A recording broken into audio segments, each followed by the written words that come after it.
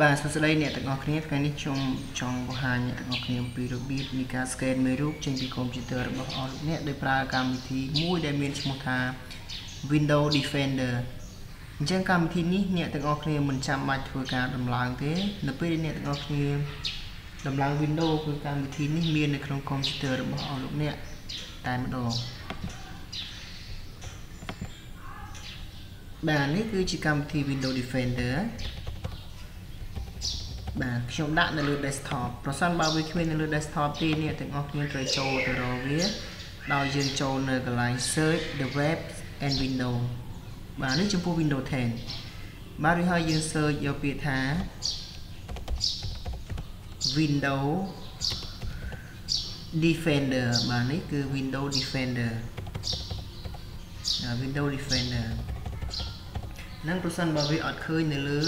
desktop អញ្ចឹងសម្រាប់ខ្ញុំខ្ញុំមាននៅលើ desktop ហើយអញ្ចឹងខ្ញុំចូលទៅបើកម្មវិធី Windows Defender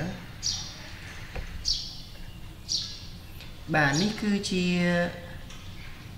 កម្មវិធី Windows Defender ដែលយើងធ្វើការ scan មេរោគចេញពីកុំព្យូទ័ររបស់យើងបាទកន្លែងនេះវាមាន quick full ហើយនិង custom quick នេះមានតែយើង scan ចំពោះតែត្រាយមួយចំនួននៅពេល full គឺយើង scan ទាំងអស់រីឯ custom បានន័យថាយើង scan របៀប scan ពីផ្លាស់ពីអីអញ្ចឹងបាទអញ្ចឹងឧទាហរណ៍ថាខ្ញុំយក quick អញ្ចឹងគឺខ្ញុំចុច scan ហើយខ្ញុំចុច scan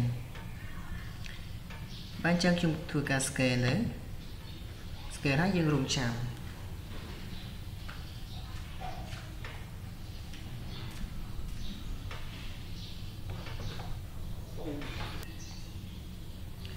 បាទអញ្ចឹងនេះគឺយើងបាន scan ហើយបន្ទាប់ពីយើង scan ហើយខ្ញុំសូមណែនាំមកយើងទៅធ្វើការ update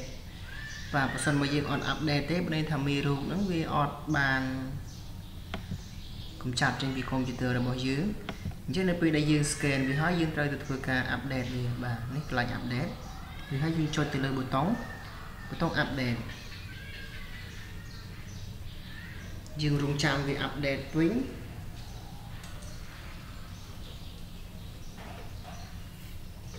បាទយើងធ្វើការរងចាំវា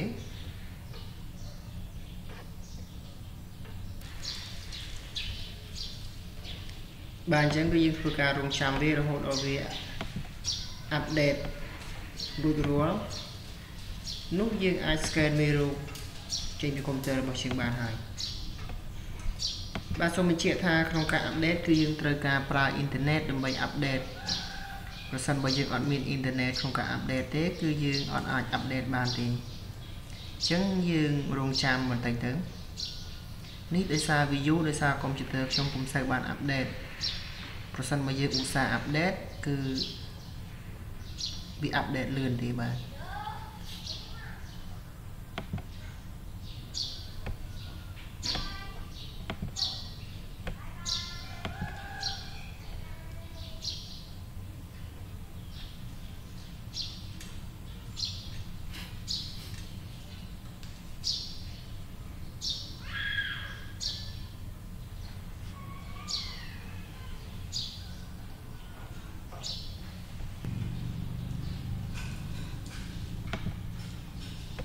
បាទអញ្ចឹងយើងធ្វើការរងចាំទាល់តែវាពេញអញ្ចឹងខ្ញុំអត់រងចាំទេ